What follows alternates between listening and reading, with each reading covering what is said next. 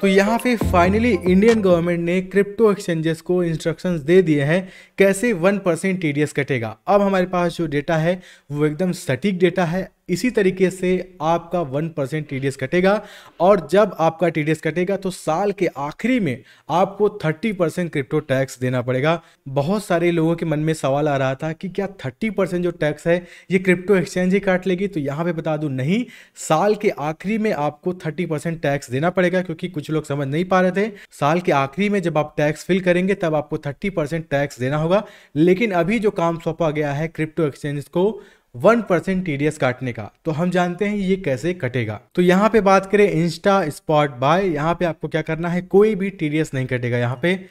इसका मतलब है आप तुरंत कोई क्रिप्टो बाय करते हैं तो आपको कोई टीडीएस नहीं कटेगा। यहाँ पे क्विक बाय भी है। ये दोनों सेम है, ये ऐप के लिए वेब के लिए है। तो यहाँ पे आप कोई भी क्विक बाय करते हैं, उस पर कोई टीडीएस नहीं कटेगा। लेकिन जैसे ही आप उसे सेल करेंगे, वहाँ पे वन परसेंट टीडीएस कट जाएगा।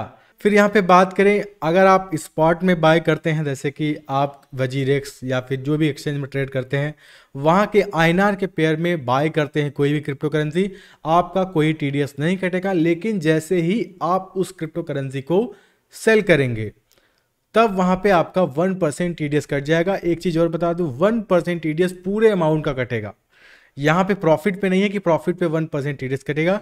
आपने जितना भी अमाउंट सेल करेंगे, पूरे पे one percent T D S कटेगा। ये काफ़ी ज़्यादा लोग पसंद नहीं कर रहे हैं। क्योंकि वन परसेंट जो टीडीएस है, वो ट्रैक करने के लिए है। आपको लास्ट में टैक्स देना होगा। तो इसी बेस पे आपको टैक्स देना होगा। गवर्नमेंट ट्रैक कर लेगी, आपने कितने अमाउंट का यहाँ पे प्रॉफिट निकाला है क्रिप्टो से।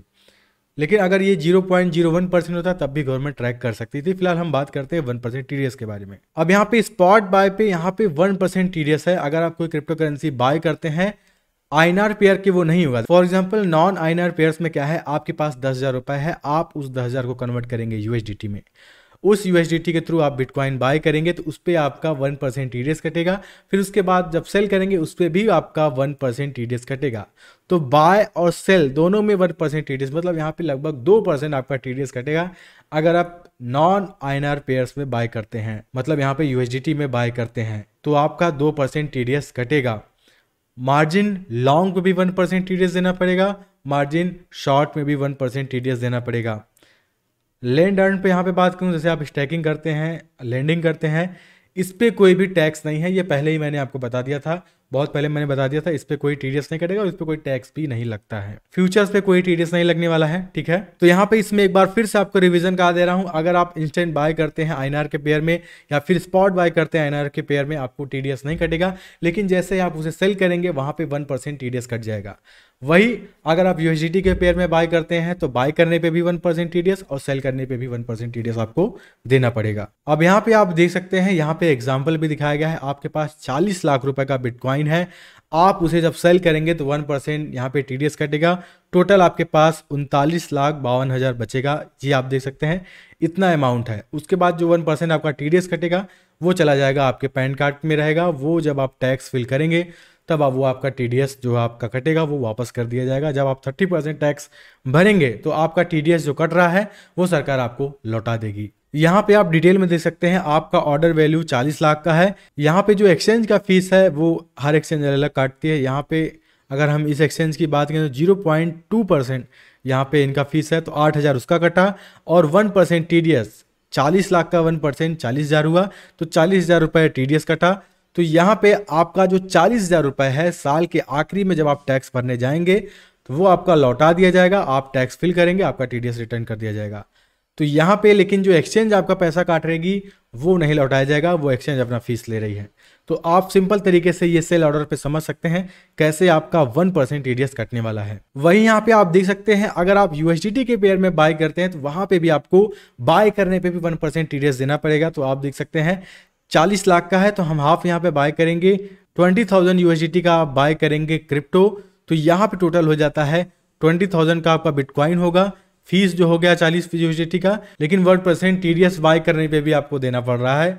तो यहाँ पे गवर्नमेंट कह रही है, आपको अगर ट्रेडिंग करना है तो आई के पेयर में कीजिए।